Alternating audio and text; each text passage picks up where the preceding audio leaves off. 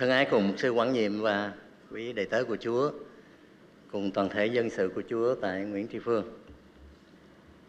Tôi rất là hạnh phúc và mỗi lần trở về thăm quê hương thì hội thánh Nguyễn Tri Phương và hội thánh Bình Trị Đông như là hội thánh nhà của tôi. Bởi vì nhiều năm tôi học việc Chúa tại Nguyễn Tri Phương và quản nhiệm tại hội thánh Bình Trị Đông. À, khi tôi trở về thì có dịp các đầy tớ của Chúa vẫn muốn tôi chia sẻ lời Chúa với hội thánh. Lần này thú thật với một sư quy là tôi trốn. À, tại vì cũng mới giảng năm rồi trong dịp lễ kỷ niệm 70 năm. Nhưng mà ông sư quy ông thương tôi quá cho nên tìm mọi cách và tôi phải nhận lời với mục sư để chia sẻ với hội thánh Chúa buổi sáng hôm nay. Và xin lỗi thầy truyền đạo phụ tá tại vì sáng hôm nay là chương trình là thầy sẽ giảng lời của Chúa. Nhưng mà một sư quy thì nói rằng lâu lâu tôi mới về một lần ghé thăm hội thánh thì không từ chối được. À, tôi đến với hội thánh Chúa buổi sáng hôm nay trong một thời giờ ngắn gọn với đề tài đất sét trong tay người thợ gốm và tôi ước ao rằng tất cả mọi người chúng ta lưu ý điều mà Chúa nói với chúng ta buổi sáng hôm nay trong câu kinh thánh này. Đất sét trong tay thợ gốm thể nào thì các ngươi ở trong tay ta cũng thể ấy. Đây là điều quan trọng. Bao nhiêu năm chúng ta đi theo Chúa, bao nhiêu năm chúng ta là con của Chúa, Đức Chúa Trời luôn luôn quan phòng trong cuộc đời của mỗi người chúng ta để nắng nót để tạo dựng nên chúng ta một sản phẩm hoàn hảo nhất trước khi chúng ta trình diện trước mặt Đức Chúa Trời. Vì vậy mà trong mỗi cuộc đời chúng ta phải trải qua nhiều khúc quanh của cuộc đời. Có nước mắt, có nụ cười, có thành công, có thất bại. Tôi nhìn thấy trong chương trình, Hội Thánh Chúa đang có nhiều con cái Chúa đang nằm trên giường bệnh. Có thể đang hoàng hoại trong những cơn đau của hoàn cảnh của cuộc đời mình. Nhưng có mấy ai hiểu được rằng trong những hoàn cảnh đó, thì Đức Chúa Trời đang theo dõi để uống nắng trở thành một sản phẩm tuyệt hảo trước mặt Ngài cái điều quan trọng là mỗi người chúng ta có cảm biết mình là đất sét hay không để được đức chúa trời nắng nót tạo thành một sản phẩm tuyệt hảo. Sợ e rằng chúng ta không nghĩ mình là đất sét mà là vàng với cái kim cương. Đúng như thầy chấp sự hướng dẫn, chúng ta biết tính chất của đất sét không có giá trị bao nhiêu nhưng đức xét sẽ trở thành vật có giá trị khi được nhào nặng ở trong bàn tay điêu luyện của người thợ gốm. Trong một cuộc bán đấu giá đồ cổ tại London, Anh Quốc vào tháng 11 năm 2010 Một chiếc bình gốm có xuất xứ từ Trung Quốc vào thế kỷ thứ 16 đã lọt vào mắt của nhiều nhà sưu tầm chuyên nghiệp. Và cuối cùng Chứ mình gốm nó được trả giá trên 70 ngàn đô la 70 triệu đô la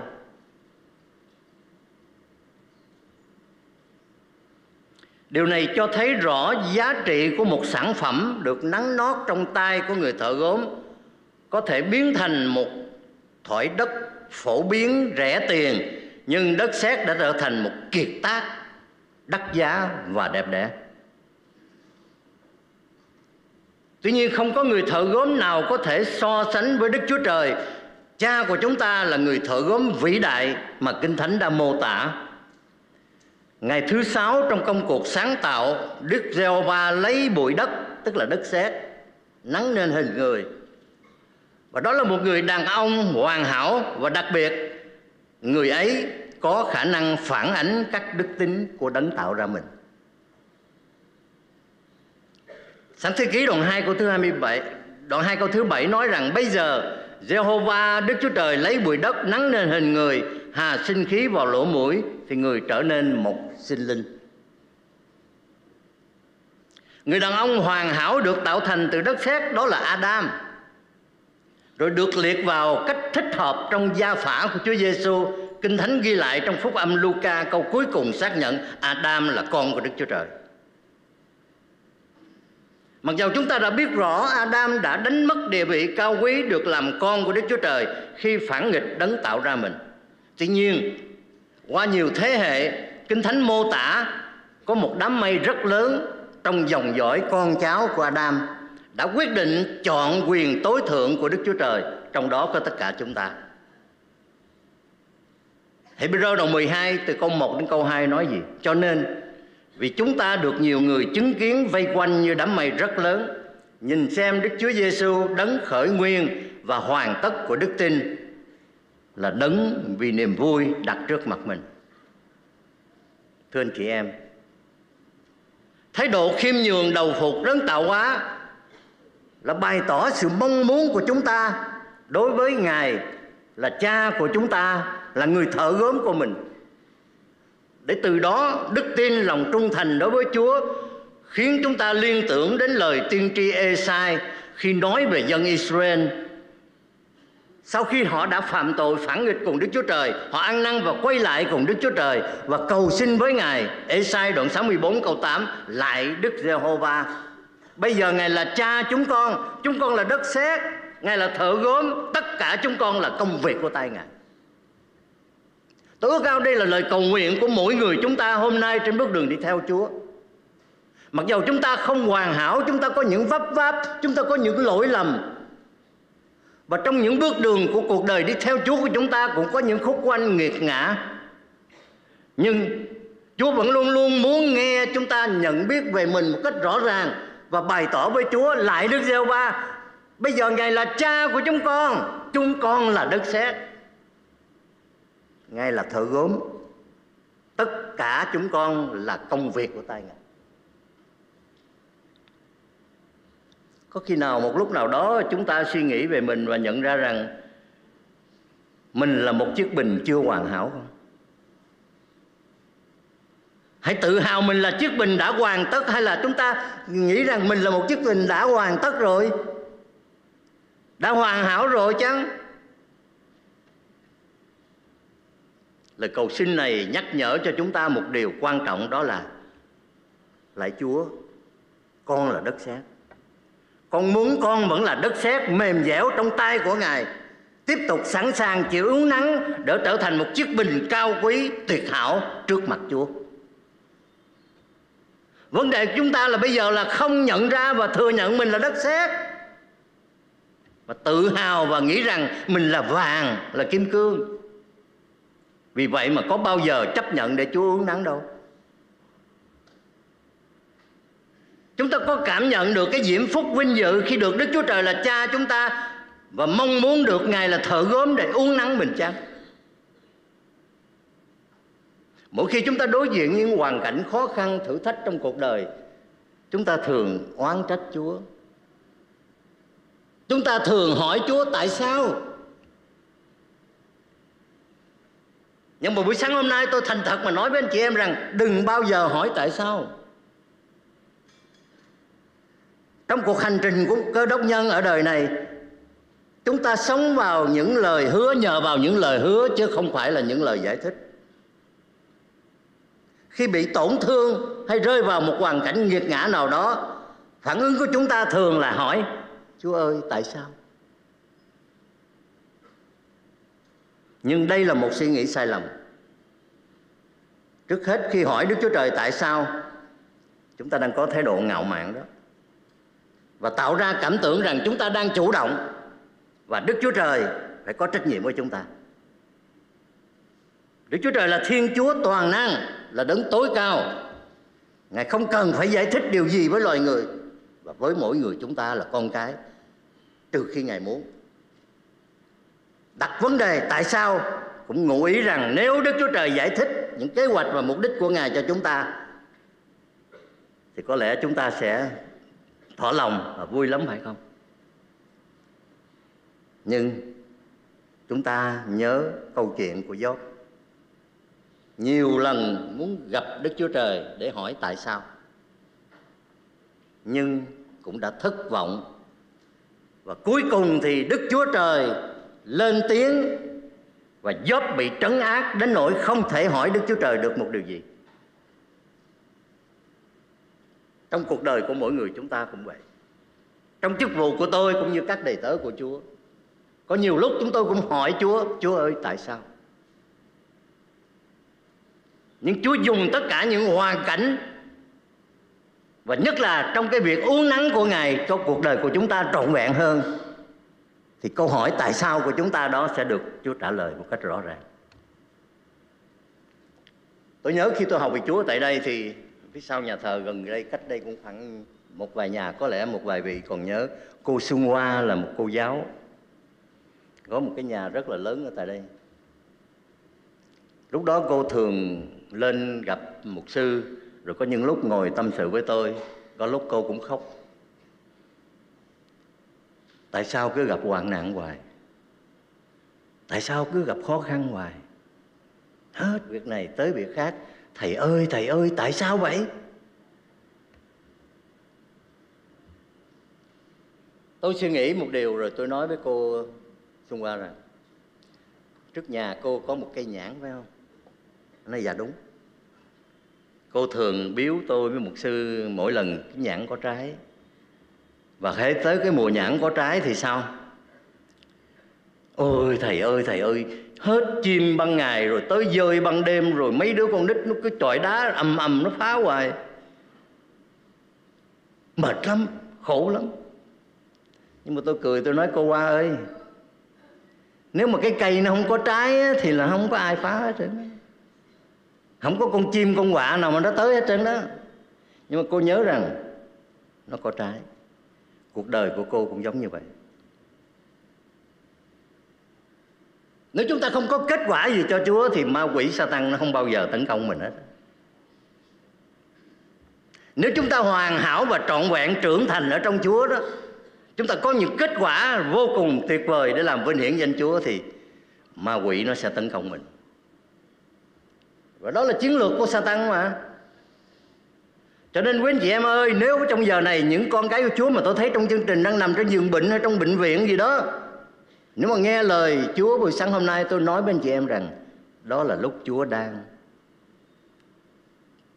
Tạo nặng chúng ta Để trở thành một sản phẩm tuyệt hảo trước mặt Ngài. Buổi sáng hôm nay một lần nữa tôi nói với anh chị em rằng, Khi chúng ta rơi vào trong những hoàn cảnh nghiệt ngã nhất trong cuộc đời của mình Đừng bao giờ hỏi Chúa tại sao, Nhưng cầu nguyện Chúa xin Ngài tiếp tục uống nắng con Để thành một sản phẩm hoàn hảo trước mặt Đức Chúa Trời. Chúa nói rõ ràng mà, Đất xét trong tay người thợ gốm thể nào Thì các ngươi Ở trong tay ta Cũng thể ấy. Chúa ban phước cho anh chị em buổi sáng hôm nay. Chúng ta nhớ rằng Chúa chọn những người mà Ngài muốn uống nắng. Khi chúng ta được Chúa uống nắng Thì chúng ta phải phải nhận biết một điều rất là phước hạnh rằng Chúa chọn để uống nắng. Và lý do mà Ngài muốn uống nắng Bằng cách nào mà Đức Chúa Trời chọn những người Ngài uống nắng? Điều này sự thật cũng dễ hiểu và cũng dễ nhận biết. Khi bàn tay của người thợ gốm đụng đến thỏi đất sét để nhào nắng thì thế nào? Chúng ta đừng ai nói rằng tôi không hề biết nha. Khi bàn tay của chúa chạm đến mình. Nếu chúng ta có nhiều năm đi theo chúa hoặc là chúng ta mới biết tin nhận chúa thì khi Chúa thăm viếng chúng ta, khi Chúa nhào nặng chúng ta bằng một cái cách nào đó trong cuộc đời của chúng ta, thì đừng ai nói rằng tôi không biết điều đó đâu nha mà chúng ta phải nhận biết Chúa chạm đến mình. Chúa muốn nhào nặng mình. Mà khác cho thấy rằng Đức Chúa Trời chọn khi thẩm định về chúng ta. Ngài không chú tâm vào vẻ bề ngoài, Thay vì thế mà Chúa xem xét tấm lòng, Tức là con người bề trong của chúng ta. Samuel thứ nhất đoạn 16 câu 7 nói gì? Đức Giê-hô-va không xem theo cách loài người xem.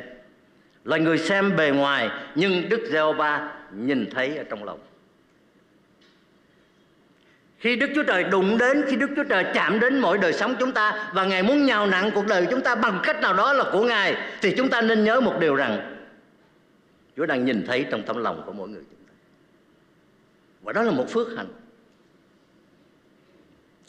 Giai đoạn đầu khi hội thánh được thành lập trên đất, Nếu xét theo quan điểm của con người Thì làm sao một người Pharisee như là Sao Lơ Được Đức Chúa Trời chọn và trọng dụng? Điều này được Chúa Giêsu minh định rằng, Nếu cha là đấng đã sai ta, Không kéo đến thì không ai có thể đến với ta. Cảm tạ ơn Chúa Ngài đã chọn anh chị em. Cảm tạ ơn Chúa có những tân tín hữu đang có mặt trong nhà thờ buổi sáng hôm nay. Rõ ràng Đức Chúa Trời có chương trình, có ý định của Ngài trong cuộc đời của chúng ta Và Ngài đã chọn chúng ta. Quý vị đang ngồi đây trong đền thờ của Chúa Quý vị phải biết rõ một điều rằng Đức Chúa Trời đã chọn mình. Vì Ngài nhìn thấy trong lòng của mỗi người chúng ta. Điều này cho thấy rõ ràng vì sao Đức Chúa Trời đã không xem sao lơ là loại đất sét vô dụng. Điều này cho thấy rõ ràng rằng tại sao Chúa không xem chúng ta như là một đất sét vô dụng.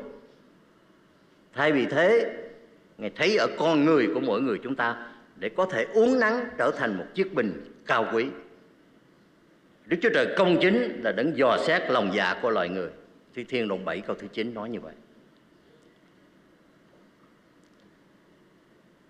Việc mà tôi nói với anh chị em rằng, Chúng ta đầu phục Đức Chúa Trời là thờ gốm của mình, Cũng có thể tác động đến thái độ sống của chúng ta Như một sản phẩm ở trong tay người thợ gốm. Vẫn đang trong quá trình hoàn thiện Đức Chúa Trời thấy và biết con người bề trong của chúng ta thuộc loại người mà có thể trở thành khi được bàn tay toàn năng của Ngài uốn nắng. Do đó Chúa có một cái nhìn tích cực hơn về con người của chúng ta mà không tập trung vào sự bất toàn tạm thời của chúng ta. Bởi vì lại Đức Chúa Trời, nếu Ngài ghi khắc tội lỗi thì Chúa ơi, ai sẽ còn sống? Chúng ta nhiều vấp phạm lắm. Chúng ta bất toàn, chúng ta luôn luôn có những lỗi lầm. Nhưng chúng ta đừng xem thường bởi vì cớ Chúa luôn luôn nhắc nhở chúng ta trong mỗi khúc quanh của cuộc đời chúng ta thì Chúa luôn luôn dùng đủ mọi cách để nhắc nhở và kéo chúng ta trở lại khi chúng ta sai phạm. Dầu có một lỗi nhỏ nào đó thì Chúa vẫn luôn luôn theo dõi và quan tâm. Quý quý vị trong cuộc đời có để ý điều này không? Có nhiều khi mình thấy ờ, có phạm một cái lỗi lầm nào đó mà mình biết là mình phạm tội cùng Chúa đó, nhưng mà Chúa ơi nhỏ quá chắc không sao. Nhưng mà không chúa vẫn theo dõi mình. Sở kiểm lâm một khu rừng cấm quốc gia bắt giữ một người phụ nữ về cái tội đốn cây trong rừng cấm viên sĩ quan kiểm lâm lập biên bản buộc bà ký tên nhận tội và nộp phạt. Người đàn bà này cử tuyệt, nhất định cho là mình không có tội. Bà phân trần mình chỉ đốn một cây rất nhỏ để làm củi mà thôi. Nhưng viên sĩ quan kiểm lâm giải thích để bà hiểu, Dù cho cây nhỏ vẫn phạm pháp. Bà ta không đồng ý. Viên sĩ quan bèn dẫn bà ra bản cấm, Yêu cầu bà đọc to hàng chữ. Cấm đốt cây trong rừng, Ai vi phạm sẽ bị xử lý theo pháp luật. Viên sĩ quan giận lắm mà quát to lên. Trên bảng có viết cấm đốn cây to cho phép đốn cây nhỏ không? Bà nói không. Chỉ có cấm đốn cây trong rừng mà thôi. Viên sĩ quan này muốn tha cho bà, Nhưng đã phạt tội cố chấp Nên bắt bà ngồi viết phạt 50 lần câu này. Cấm đốn cây trong rừng, Bất kể cây to hay nhỏ, Vì cây nhỏ rồi sẽ thành cây to. Ai vi phạm sẽ bị xử lý theo pháp luật.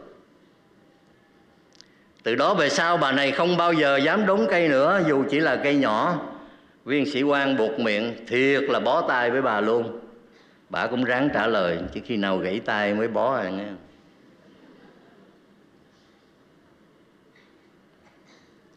Nhiều khi chúng ta có những vấp váp, sai phạm nhỏ thôi. Nhưng mà chúng ta nghĩ rằng nó không đáng. Nhưng mà chính những sai phạm nhỏ nhặt đó, Chúa vẫn muốn kéo chúng ta lại và uốn nắng chúng ta. Vì khuynh hướng xem thường tội nhỏ là một trong những sự lừa dối của Satan, khiến chúng ta luôn bị mù, để dẫn chúng ta vào bước tiếp theo là phạm tội nhưng mà vẫn cảm thấy lương tâm an ổn. Và dần hồi thì tâm linh không còn nhạy cảm đối với tội lỗi và trở nên quen thuộc với nó. Thưa anh chị em, thực tế đưa đến tinh thần tích cực là chúng ta hãy cùng làm việc với người thợ gốm. Mỗi ngày chúng ta hãy cùng làm việc với người thợ gốm là cha của chúng ta bằng cách hỗ trợ và nỗ lực để tiến bộ về mọi mặt trong nhiều lĩnh vực thuộc linh khác nhau. Lý do ngài uống nắng chúng ta là tại sao đức chúa trời muốn uống nắng chúng ta? Tại sao chúng ta cần phải biết và quý trọng ơn của chúa trong sự uống nắng sửa phạt của ngài? Cái mỗi lần chúa uống nắng chúng ta thì trong một cái hoàn cảnh nào đó thì chúng ta chỉ ngã lòng, buồn, chán, oán, trách và thối lui. Mà chúng ta không cảm nhận đó là một cái phước hạnh. Chúng ta cảm nhận đó là một cái điều rất là tuyệt vời vì chúa còn quan tâm để uống nắng nhào nặng chúng ta để trở thành một cái hoàn hảo và một sản phẩm hoàn hảo nhất. Tôi nói ra điều này không là kinh nghiệm của bản thân mà chắc trong chúng ta cuộc đời nào cũng có thể từng vấp phạm và học biết tôi đã không thật sự biết ơn và quý trọng sự sửa phạt của cha mẹ tôi. Cho đến khi chính tôi có con. Tôi thành thật mà nói như vậy. Nhiều lần trong cuộc đời của tôi tôi không thật sự biết ơn cha và mẹ và quý trọng sự sửa phạt của cha mẹ. Cho đến khi tôi có con.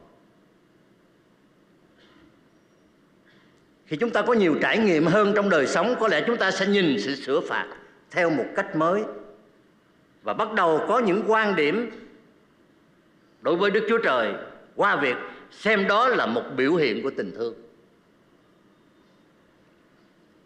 Hebrew đoạn 12 câu 5 và câu 6 nói gì? Hỡi con ta, chớ xem thường sự sửa phạt của Chúa và khi Chúa khiển trách chớ ngã lòng vì Chúa sửa phạt người Ngài yêu thương. Những ai được nhận làm con thì Ngài cho roi, cho vọt vâng buổi sáng hôm nay tôi chân thành nói cùng với anh chị em. Những người con yêu dấu của Chúa đang trong linh trình đi theo Ngài. Cuộc đời chúng ta cho đến khi bước vào vương quốc của Đức Chúa Trời chúng ta sẽ không bao giờ tránh khỏi những hoàn cảnh. Đừng bao giờ nghĩ rằng, ôi, tôi đi theo chúa thì sẽ thông suốt, yên lặng. Con tàu ở giữa đại dương, nó chỉ được chứng minh khi nó vẫn bình yên giữa cơn bão tố. Cuộc đời của mỗi người chúng ta sẽ không bao giờ tránh khỏi những hoàn cảnh. Quý vị nhớ điều tôi nói sáng hôm nay nha chúng sẽ đối, chúng ta sẽ đối diện với hết hoàn cảnh này với hoàn cảnh khác. Với những khúc quanh này đến những khúc quanh nghiệt ngã khác trong cuộc đời của chúng ta. Đó là lúc mà chúng ta biết rằng Đức Chúa Trời đang quan tâm uống nắng để tạo cho chúng ta trở thành một sản phẩm tuyệt hảo trước mặt Đức Chúa Trời đừng ngã lòng, đừng chán nản, đừng thôi lui. Phải biết rằng, chúng ta ở trong tay của người thợ gốm thế nào. Và cuối cùng, sẽ ra thế, sẽ ra làm sao, chúng ta đều biết. Ý muốn của chúa là chúng ta sẽ trình diện trước vương quốc của đức chúa trời như là một sản phẩm toàn hảo nhất của ngài. Đừng ngã lòng nhé đừng chán nản, đừng thôi lui. Đừng khóc, đừng hỏi chúa tại sao. Tôi nhắc anh chị em một lần nữa, sáng hôm nay, đừng hỏi chúa tại sao. Nhưng hãy nói với chúa rằng, tại sao chúa không uống nắng con? Khi mà chúng ta cảm biết rằng không có một cái chuyện gì xảy ra hết, yên lặng, vui vẻ, thỏa lòng thì chúng ta nên hỏi chúa rằng, chúa có thương con không? Mà khi chúng ta rơi vào trong những hoàn cảnh chúa uốn nắng chúng ta đó, thì đó là lúc mà chúng ta biết rằng ngài yêu thương chúng ta. Nguyện chúa ban ơn cho anh chị em buổi sáng hôm nay nguyện chúa thương xót chúng ta trong mỗi hoàn cảnh của cuộc đời chúng ta đang đi và câu nói của tôi một lần nữa trước khi tôi kết thúc bài giảng là, đừng bao giờ hỏi chúa tại sao mà cầu nguyện xin chúa giúp cho con để con có thể thắng hoàn toàn vượt qua tất cả những hoàn cảnh đó để ở trọn vẹn trong bàn tay uốn nắng của Chúa, ngài là tuyệt là người thợ gốm của con.